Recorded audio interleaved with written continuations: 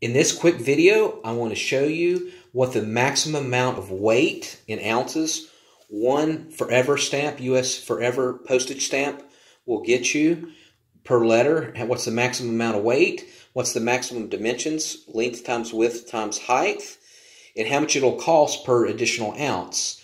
Well, as we all know, one stamp right now in the US, 2022, 2023, is 60 cents. And of course, it'll continue to go up. Well, the quick answer is one ounce. So one stamp will cover me one ounce. Now on the scale here, it shows that I'm 1.1 ounce. So unfortunately, I would have to add another stamp, which is another 60 cents. So that'd be like a dollar twenty for my letter to ship out. Now you might say, well, why do I want to spend that additional money? Well, I don't want to wait through a USPS line just to save me, you know, 50, 60 cents, whatever. And I don't want to go to stamps.com.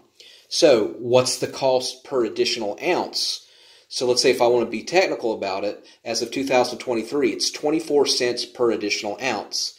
So one stamp will cover me to one ounce, and then if it's two ounces, then it would be uh, 60 cents plus 24 cents, right? So that would actually, two stamps would actually get me to about three ounces, right? Because you got the 60, you got the one ounce uh, per 60 cents and then 24 cents additional ounce. So that would get me to two stamps would still get me to three ounces.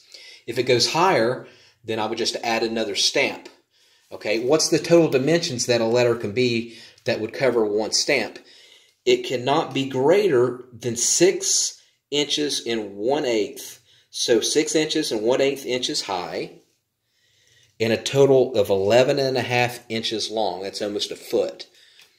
And it can't be thicker than a quarter of an inch. That's one fourth of an inch.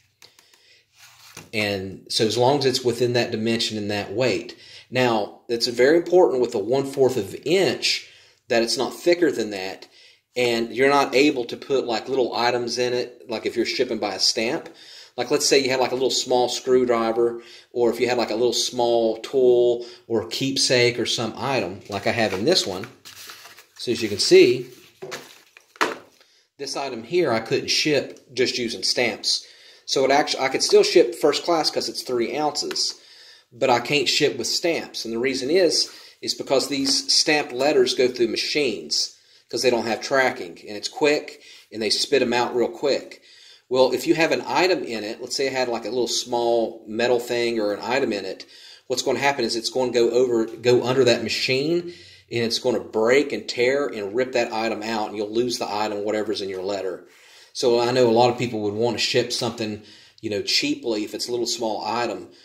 The unfortunate thing about it is, the stamps it will ruin the the letter, and it just won't get to your to your um, friend or family member or customer. So unfortunately, you would have to go through first class package.